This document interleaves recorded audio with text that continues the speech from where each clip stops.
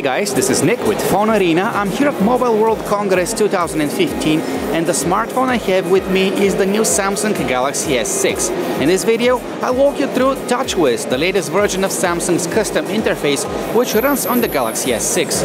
Out of the box, the Samsung Galaxy S6 runs Android 5.0 Lollipop, the latest version of Google's operating system. And in fact, even though we have a custom interface here, some of the Lollipop elements are still present, including the camera shortcut on the lock screen as well as the dialer application shortcut. You also have your notifications displayed at a glance in case there are any. But on the lock screen you also get this really conveniently placed weather and time widget.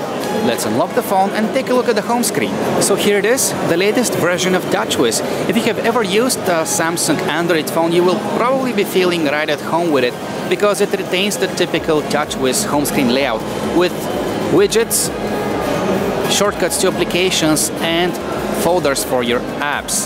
There's also a separate application drawer where all your installed applications are organized.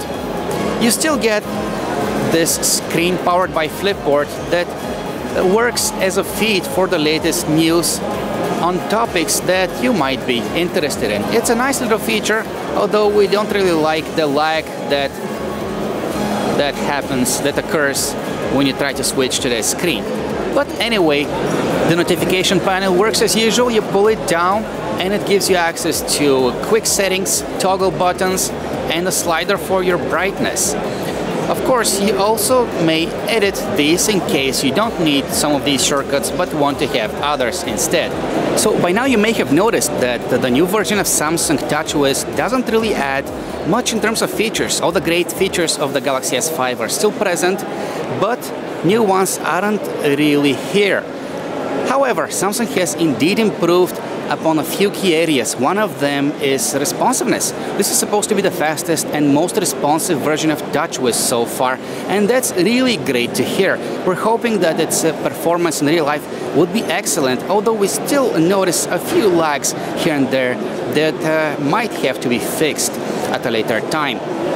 Another great thing about the latest TouchWiz is that it's more customizable. Samsung has thrown in support for user interface themes, and we're about to apply one just to show you what happens.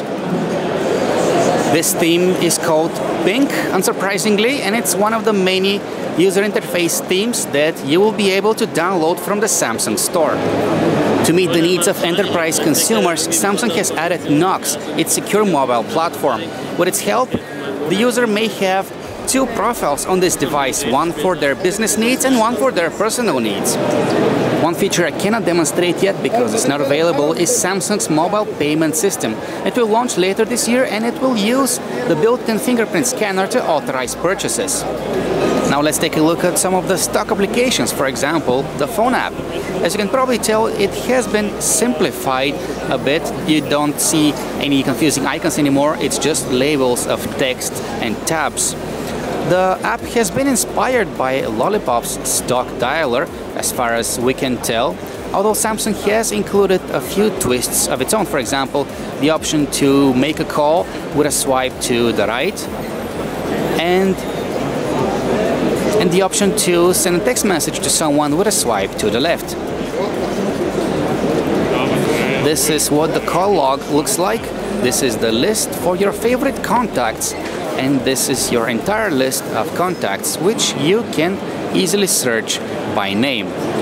This is the messaging application. Similarly, it has been inspired by Lollipop's messaging app Although it's nice to know that Samsung has added the ability to put your favorite contacts up here at the top for easier access. This is the on-screen keyboard. It appears to be very reliable thanks to its great responsiveness. And of course, you have the huge list of emote icons at your disposal. It is really easy to attach an item to your message, just tap this button and you get a list of your recent pictures, as well as further options down here.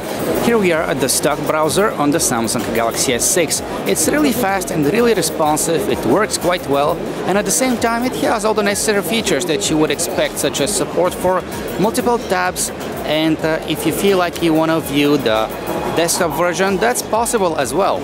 This is the redesigned gallery. Let's open an image and see what editing options we get out of the box with the built-in gallery.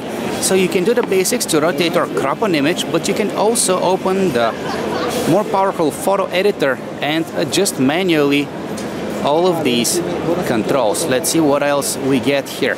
Oh, we have the option to add various effects to the image. That's really nice. This will look great for your images and for your selfies. This is the S-Health application. It's your personal activity monitor and fitness tracker. It counts the number of steps you've made, how many hours of sleep you got. It can also measure your heart rate using the built-in heart rate sensor. Whenever you want to listen to some music, the music player is at your disposal. Here's what the interface looks like.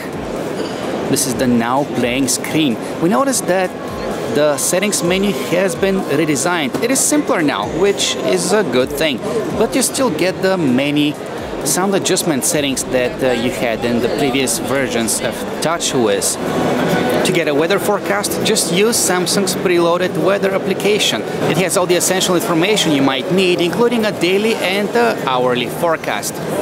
And this was our quick overview of the latest version of TouchWiz. For more details about it and about the Galaxy S6, just check out our website, phonearena.com.